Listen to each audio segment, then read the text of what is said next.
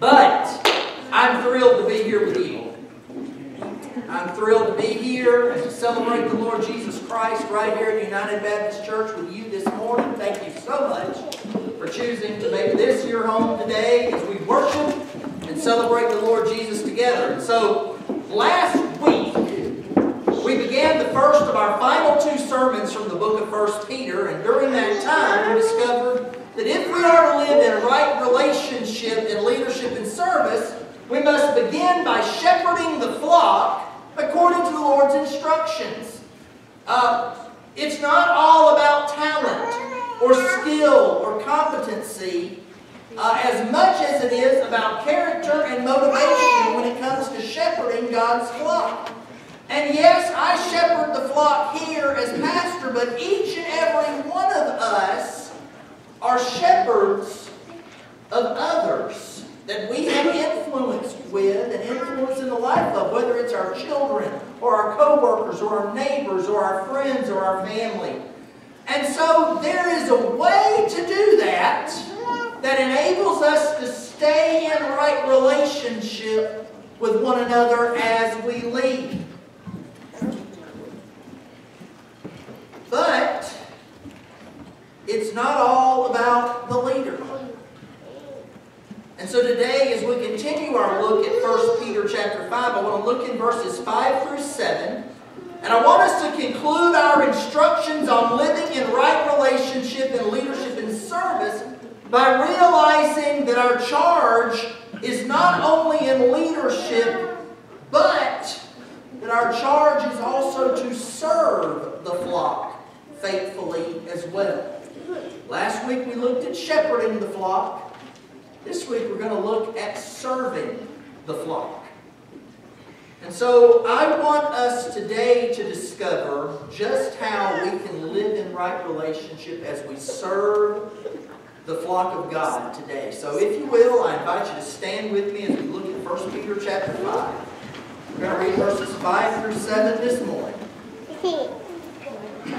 Discover just how we can serve the flock and remain in right relationship today. And the word of the Lord says this.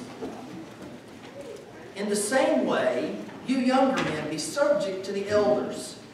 And all of you clothe yourselves with humility towards one another, because God resists the proud, but gives grace to the humble. Humble yourselves, therefore, under the mighty hand of God, so that he may exalt you at the proper time, casting all your care on him, because he cares about you. Let's pray. Our Father, we thank you for today, and we thank you for the instruction of your word. Lord, whether we want to admit it or not, we're all servants. And we will spend much more time in service to others than we ever will in leadership. So I pray that we will hear from your word today and that we will respond to your word faithfully this morning. And it's in your precious and holy name we pray. Amen. And you may be seated. The underlying reality of the whole book of 1 Peter, and maybe even in this passage in particular, is that things change. Change is a natural part of life. And when you look at the original recipients of the letter of 1 Peter, the church in Turkey, change is almost overwhelming. In the midst of persecution, Roman Christians have fled from Rome. They have filled the churches in Turkey. And what had been just a few days, weeks, months before is now radically different. Roman Christians left behind businesses, and they left behind homes, and they left behind family. They left behind anything that resembled stability, even to the point of the way they worshiped. Think about this. For many served as leaders and elders within the Roman church, this new life might have been especially difficult. Think about the, the way we do things here at United. You know, we, we have kind of a system for how we function and do things. And now imagine tomorrow all of that was changed. Just that quickly, everything we had grown accustomed to and used to doing is now different. That's how many of the leaders from the Roman church had to feel coming in to the church at Turkey. And to the leaders in the church at Turkey, you may have a guy who's been an elder for a week, now with a Roman Christian who was an elder for 20 years, sitting in the house church he's responsible for. You don't think that changes things? You don't think there's not a time where the guy may be thinking, you know what, I'm just not qualified to lead when that guy's sitting. It's change that has brought about a radical discomfort, a lack of clarity, a struggle to the relationships. How are we supposed to get along and go along with each other in the midst of all of this change? And it's against this backdrop that Peter gives these instructions. As these two distinctive Christian congregations blend together, they must remember one essential direction if they are going to live in right relationship with one another in their service. And they had best adopt two crucial attitudes that are going to help them suffer through. And guys, I'm going to tell you, we desperately need that one direction and those two attitudes in our life and in our church as well. This wasn't a spur-of-the-moment instruction that Peter gave to them. It was a one-time only use. But rather, this right here, this right here will carry churches until Jesus comes back in right relationship with one another. And so maybe as we come to this last sermon from 1 Peter, we find what may be our most important directions from the apostle for our lives today and each day as we go forward with one another. So as we look at the text, the essential direction for keeping us living in right relationship is this. We're all called to serve in submission. We're all called to serve in submission. We do not like that. So I'm going to read it right out of the Bible because I want to make sure we read it.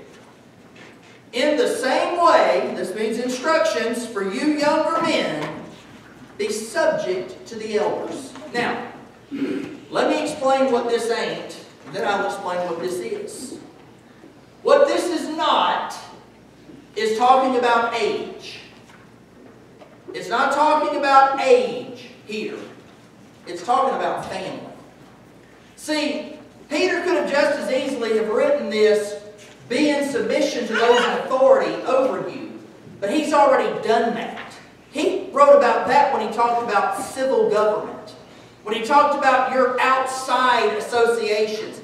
He dealt with the idea of hierarchy and authority outside of the church. When we talk about it inside the church, we talk about it in terms of family.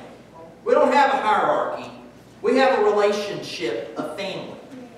And just like in any family, there are people in the family that play the role of grandpa or great-grandpa or dad. And it is from there that the patriarch of the family sits, the matriarch of the family sits, and if it weren't for them, there wouldn't be no family. Does that make sense? They are the elders. That's why they use that term in referencing the leadership within the church.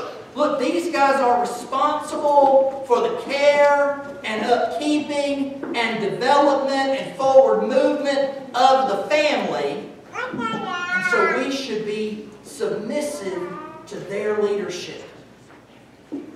We don't like to submit. We all want to be in charge and we all think that we're right. And if we didn't think we were right, we'd change our opinion so we could be right. That's how we're wired. We feel this way. We think this way. Mix in our American individualism where I can do it all on my own, and it really takes a beating on community. It's really hard to build a relationship when nobody wants to take the seat of service. Everybody wants to be in the driver's seat. I've seen those clown cars, and even when they shove 25 clowns in that car, they can't all sit in the driver's seat. It doesn't work that way. And so we're called to serve in submission. That's what we're called to do. In our church, the role of the elder is really fulfilled in a number of ways. Those who teach classes, those who serve as deacons, those who chair committees, those who lead ministries all fulfill aspects of the elder. They all fulfill parts of what Peter's calling them to. Ultimately, if you carry the responsibility for leading within the church, you are helping fulfill the role of the elder, and those who are in service to you should serve in submission. That doesn't mean sit there and take a beating because they want to give one out or never say anything. But it does mean that the goal and the idea is to work together to accomplish the goal that has been set in front of us. We do not have to agree 100% on everything to be able to work together and accomplish a goal with one another. Can you believe there are times where people in our church do not agree with me? I know that comes as a shock to you guys. This may come as a shock to you, but there are times where somebody's in charge of a ministry or a class or something like that, and I may not agree with them. But you know what? We continue to go forward with one another, working together in love and in submission to that leadership. Once I designate authority to a class, to a teacher over a class, it's not my place to come sit in that teacher's class and run them down in front of their, their students. That's not my place. They're leading that class. My responsibility is to submit and support that teacher and encourage them and help them and move them down the road wherever God is leading them to go. When we designate responsibility for a ministry, it's not my job to tell that person what a terrible, rotten, awful job they're doing and how they can't do it better and how I'm going to do it better than they are and they're just going to be a figurehead. It's not the way it works. We have to trust and we have to empower and we have to enable. And then I have to do my part to submit in leadership to their leadership as I help them do what they're wanting to do. Wayne will tell you, I don't come in and tell Wayne, Wayne, this is what you need to do with the choir every week. I don't do that. Why? Because I trust Wayne to lead. When I sing in the Christmas musical, if that happens, I don't stand up there and say, no, we need to do it this way, we need to do this, we need to do it this way. Wayne says, you sing that. I go, yes, sir. And I try to support him as best I can. because that's the way it's supposed to work. We're supposed to submit to those that have been empowered and called to the leadership of the work. In our church, we lay this out in regards to the idea of accountability. Ultimately, God serves as the one who provides direction and will hold us all accountable for our leadership and our service. That's the top of the food chain, folks. Not me, not you, not the janitor. God. then, we move down from that, and it is the people who will provide direction and leadership and hold me as pastor accountable for what we do. And then, from me, I will provide direction and leadership based on the guidance and direction and leadership I have been provided to those who serve in ministry and organizational leadership. And I will hold them accountable for what they do with that direction and leadership. And then they take that guidance and direction and leadership and they provide that to our people. And as a people, we serve in submission together in fulfilling what we have been called and guided and directed and led to do. Now here's the fun thing. Everybody is a servant. Everyone. Me, you, deacons, committee chair people, um, Sunday school teachers. Everyone is a servant. And everyone also carries some responsibility to lead in the process. We're called to work together in submission as we pour in our gifts and our abilities and our talents and our time and our treasure. And as we serve within the church, the result should be a service that reflects submission to everyone who has been placed in authority above us in the work and the service we've been called to accomplish. Every church member is called to shepherd the flock, and every church member is called to serve the flock. And only as we embody the instructions that Peter offers here in 1 Peter chapter 5 are we really able to do that fully and faithfully. But you know what? We can do it all right. We can lead, striving for right relationship. We can serve in submission. And there's still going to be times where there's conflict and disagreement. Right? That happens. That's the reality of working together and having different views and different perspectives. And that's okay.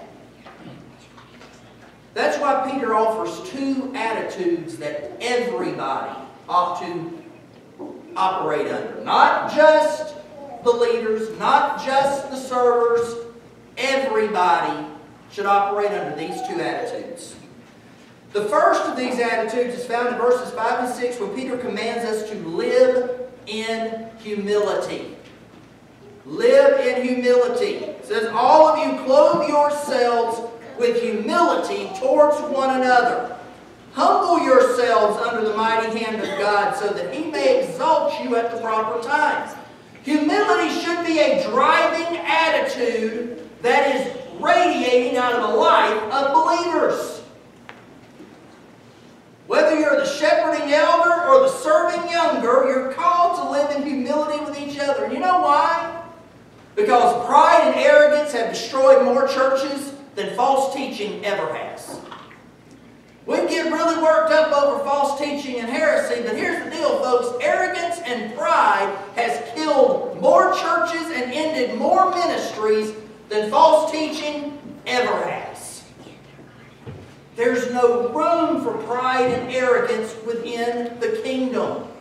You know why? Because pride and arrogance keeps us from leading and serving faithfully. It takes my wants, my desires, my opinions, my traditions, my way of doing things, and it makes that the standard by which everything else has to come to in order to be right. And here's this big shocker. You ain't Jesus. There's only one guy that has the right to claim to be the head of the church. You ain't him, and I ain't either.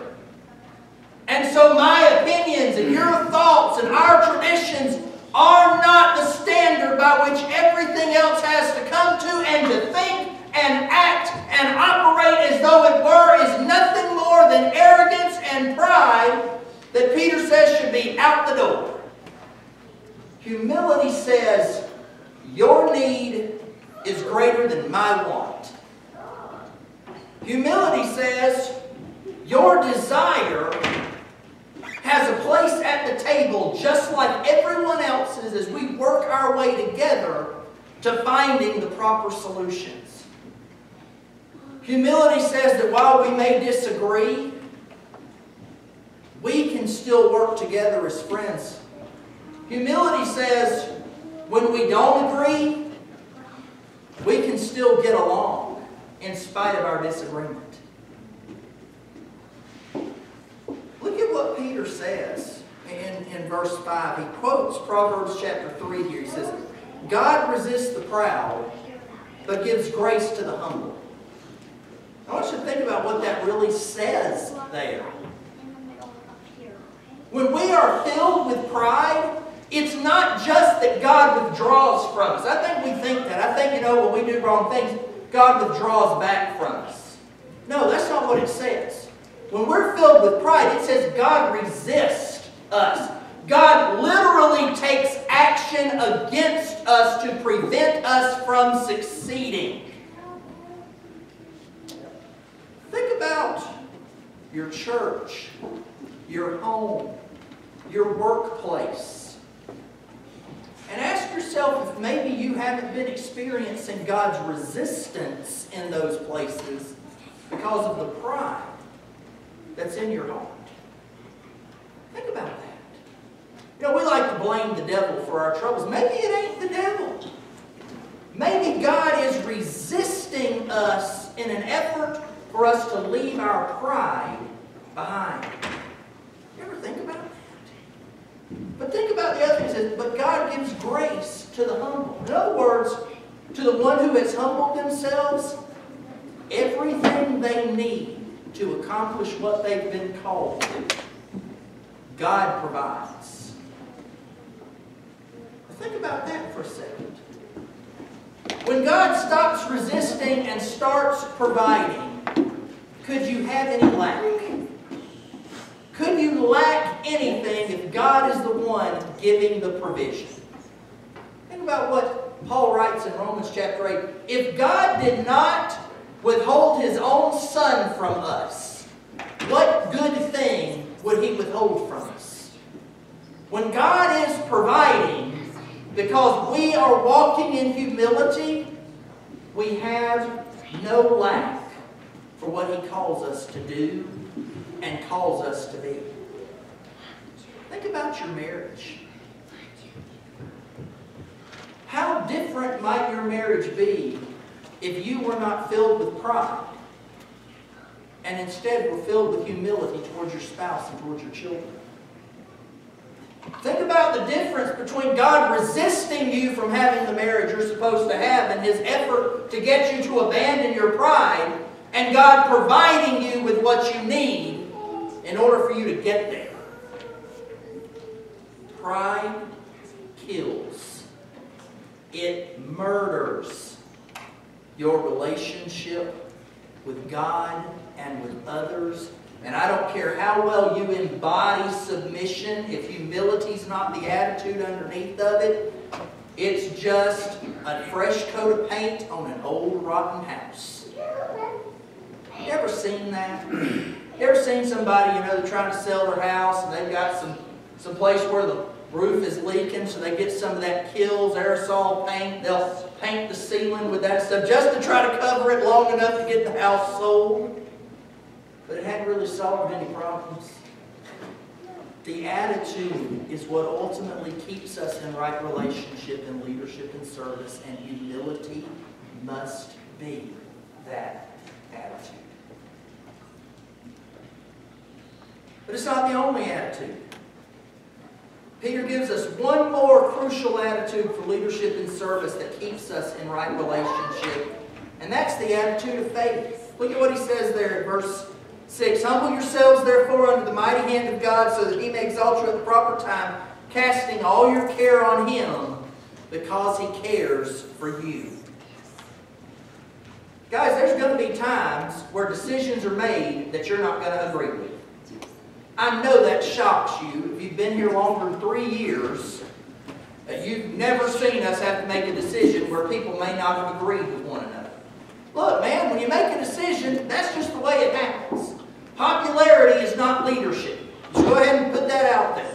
Just because it's popular, don't make it right, and it doesn't mean you're leading anybody anywhere. You want to make everybody happy, go sell ice cream. But here's the deal. We're not selling ice cream. We're not running popularity contests. We're striving to accomplish the work and mission God has called us to, and that's hard. And it requires hard decisions. And in those times where we don't agree, that's where faith steps in. And here's why. Ultimately, God is the chief shepherd. Jesus Christ is the head of the church. And He will hold everyone accountable for the decisions they make and the actions they undertake. When we grumble and complain and backbite, all that is is lack of faith. It is a lack of trust in Jesus to be the head of His church. It's that simple. Look, we make decisions I don't always agree with. I'm yet to get mad enough to look at someone and say, you know what? You're just doing this all wrong and I don't like you anymore and I'm going home and I'm not coming back. Some of you are sitting there going, yeah, because then we wouldn't give you a paycheck. Well, that's true, but that's not why I wouldn't do it. Guys, there's going to be times where hard decisions have to be made. We simply have to trust that God is working in the leadership He has provided. And go forward together in humility, knowing that God is more than able to take care of His church. So are we then just to just to ignore it, sweep it under the rug, and internalize it? No. First off, it says, cast your cares upon the Lord. He cares for you. Take your concerns to Him and trust Him to deal with them and you as those things take place. But secondly, deal with things in a Christ-like way. The answer is not to complain and gossip and backbite and undermine and serve with lack of integrity. That's not what we're to do. You got a problem with something? Address it. Talk to the person. Discuss it. Pray with them over it. Work it out. And here's the deal. If you have an issue and a concern, they should be willing to work it out with you because the goal of everything like that is to reconcile with one another. That's the goal. That's what we're working towards. To walk in right relationship with each other. How many of you have ever had to come and talk to me about something you didn't like that I did? Oh, everybody has now turned paralyzed. Wayne raise his finger. Wayne knows. Several of you. Have I ever started throwing stuff at you from my desk? From the chair. From the chair, okay. no, I want to work things out. My desire is to work things out. I don't want us to be at odds with one another. I want us to work together with one another. But the only way that happens is if we deal with one another in the right way. And it's amazing how much grace God gives to us when we humble ourselves and come to one another in the right way, seeking reconciliation.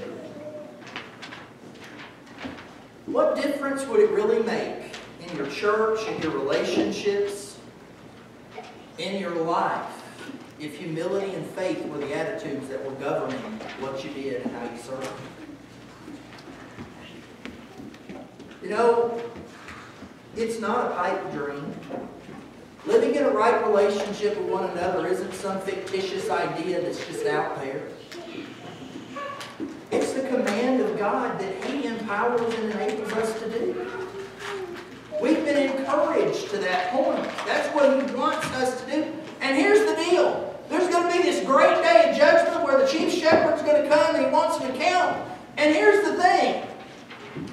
Baptism numbers are not the deciding factor in whether or not we were successful. That comes as shock. I love to baptize. I'm a numbers guy. That's not, that's not the deciding factor of success. Whether or not we had the biggest building or the most people here on Sundays, or whether or not we taught the most Bible studies, or, or whether or not we raised the most money, those are not the deciding factors of success and effectiveness in ministry. But whether or not we're living and walking in right relationship, man, that's crucial, crucial box on the evaluation form. That, that's, originally when I wrote this, I said that's the thing that God is looking for. I would say it is one of the most important things. How have we lived with one another?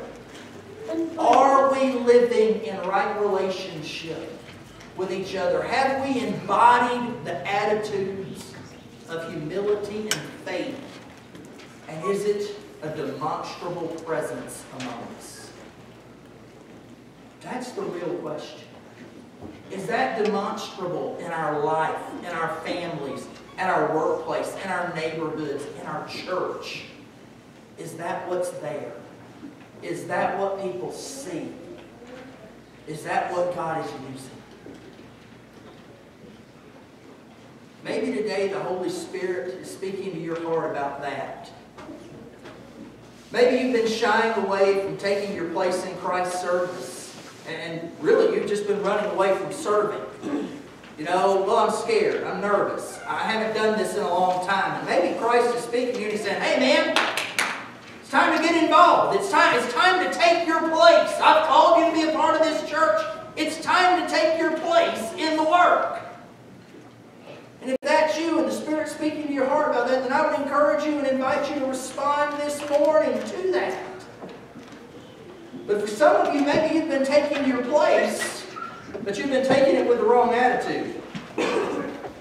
Maybe you've been carrying around an attitude of grumbling and complaining versus humility and faith. Maybe this morning the Holy Spirit's speaking to your heart about making that right. Making it right between you and your Savior. Maybe you need to make it right between you and somebody else. Maybe you've had a confrontation with someone and the goal wasn't to be reconciled and you need to make that right. And if that's the case, I would encourage you to do that today. Maybe you need to make things right between you and your Savior. Maybe you're here and you've never trusted in the person and work of the Lord Jesus Christ for your salvation. And today the Holy Spirit is speaking to your heart. You know that's what you need to do. If that's the case, I would invite you to respond this morning as well. But guys, here's the deal. In the book of Acts, chapter 3, verse 19, there's an event that's taking place. Peter is preaching the gospel in the temple, and he says these words that I believe are equally valid to the one wanting to trust Christ for the first time, or to the one that maybe has been wandering far afield and needs to make things right with Christ today and rededicate themselves, or to the one Christ is calling to take their place in His church. But it's Acts chapter 3, verse 19. And Peter basically calls for those who are truly seeking to worship God to repent and turn back so that their sins may be wiped out, that seasons of refreshing may come from the presence of the Lord. Maybe today it's time for you to experience that season of refreshing to follow God's instruction in service and leadership, to adopt those attitudes, to repent of our sin, to change, to turn and be changed by the work of the Holy Spirit in our lives and in obedience to our Savior. To experience the seasons and the times of refreshing that only come from the Lord's presence. In just a moment, I'm going to lead us in a time of prayer. During that prayer, I'm going to make my way to the floor. Wayne's going to come back to the platform. At the end of that prayer, I'm going to be standing on the floor.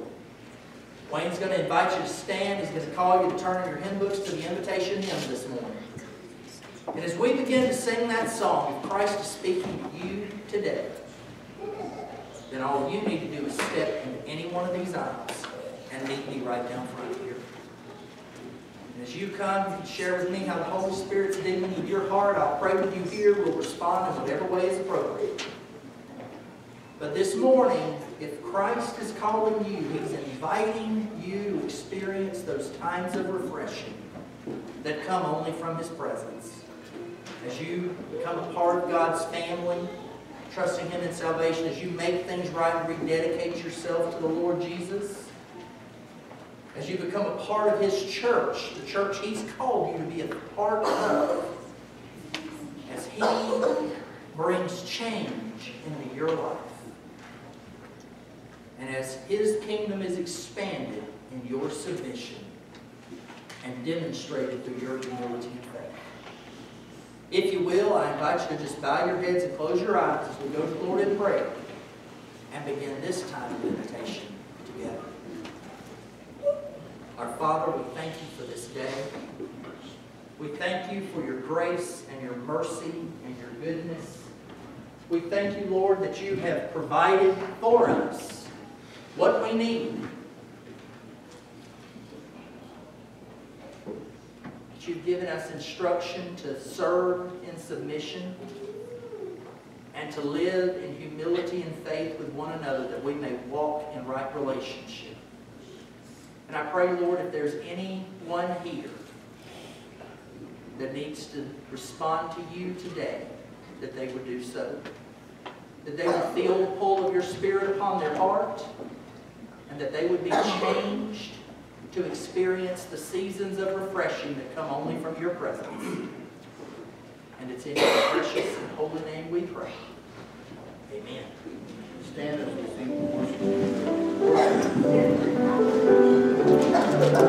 sing.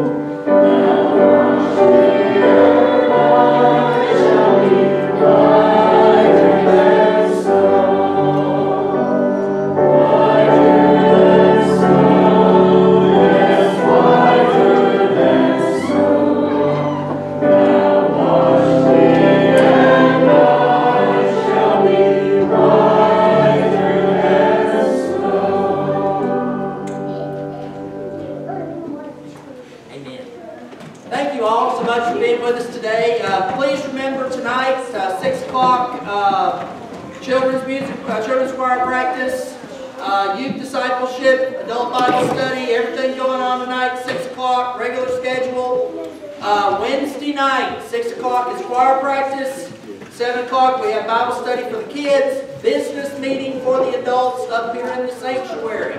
Uh, we do need to finish out, and I will be resending the reports and everything for the business meeting, so you guys have that this week, have a chance to look that over, and we will be ready to go on Wednesday night.